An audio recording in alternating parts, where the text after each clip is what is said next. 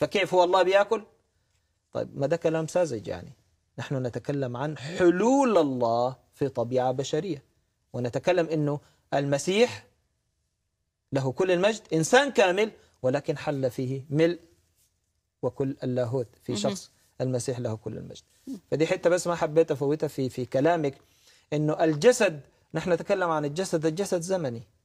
لو أنت يا مسلم بتفتكر أنه الجسد جسد المسيح ده هو الله ده مش إيماننا. الله حل في هذا الجسد متحدا به فأصبح المسيح هو الله الظاهر في الطبيعة البشرية.